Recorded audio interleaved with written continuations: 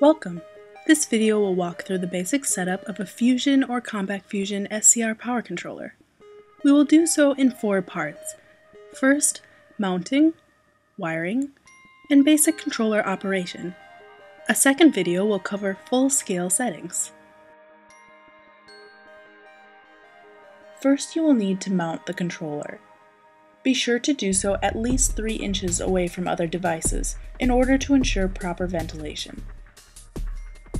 Next, ground the controller as shown.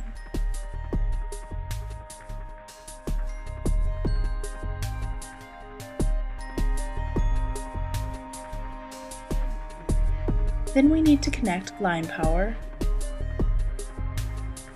load connections, and control power.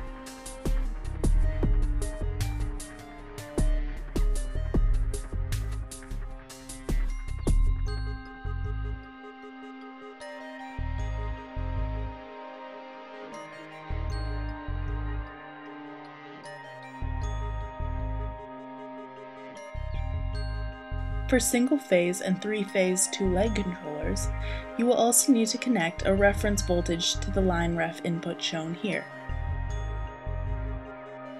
On the side of the controller, locate the P1 connector. Note that pin 7 and pin 9 are the run and reset, used to enable, disable, or reset the controller. These pins are commonly wired with a run stop switch. Note that while opening the run stop on pin 7 and pin 9 inhibits firing of the SCRs within one half cycle, the only safe way to service the controller is by having the mains disconnected by mechanical means. SCRs are solid-state devices and cannot be considered a mechanically safe disconnect. You will see voltage on the load side of SCRs even when not firing. We will wire pin 7 and pin 9 closed to enable controller operation in the following examples. Next, we'll cover analog set points. You can use the built-in display on your controller to monitor and change your controller settings. Scroll through the settings using the arrow keys to set point type. The display tells us that we are currently using analog control. This is the default setting and means that pin 7 and pin 8 on P1 are open. Use the arrow keys to view set point selection. We are using set point 1. On P1, this means that pin 7 and pin 10 are open. Then we can scroll down further on the display and see that set point 1 is currently reading a 16.78 mA analog command signal, shown here connected to pins 2 and 3.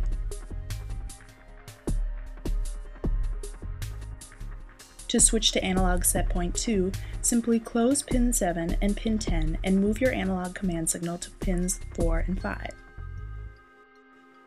Now let's go back and wire the controller for digital set point 1.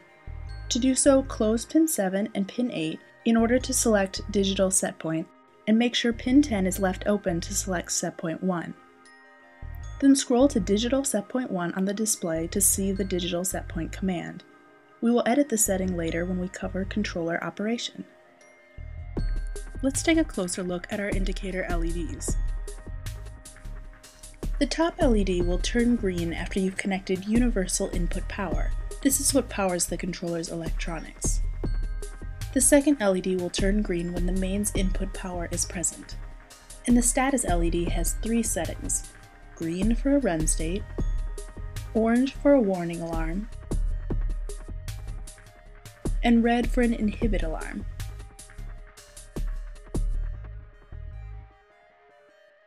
If the status LED is off completely, no alarms are present but the controller is not enabled.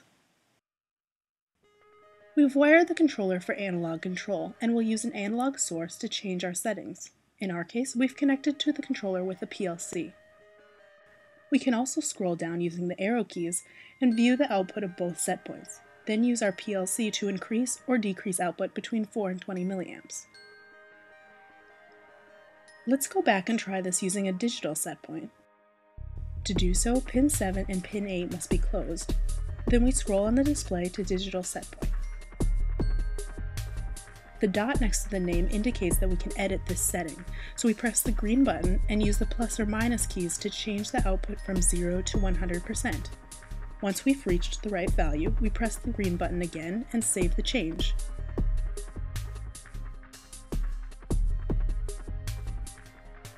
For more information, visit our website at www.ccipower.com or contact the experts at Control Concepts Incorporated